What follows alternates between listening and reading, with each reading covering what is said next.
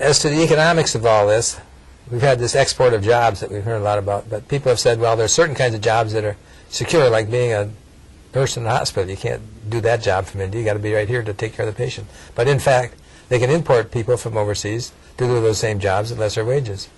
I mean, there's a great move now towards having some of a guest worker program that, without being said, that people think will favor Mexico because the Mexicans don't want to work for $5 a day. They'd like to work for $5 an hour. Well, if we set up a guest worker program that's worldwide, you'll soon find that there are billions of people who would be delighted to work for $5 a day. And they'll be hired in preference to the Mexicans because they're much cheaper. And also because they don't have a domestic public interest uh, network to look out for their interests, like MALDEF and La Raza may look out for the interests of Mexican workers, but not going to look out for the interests of Fukianese workers from China. They can't speak the same language even.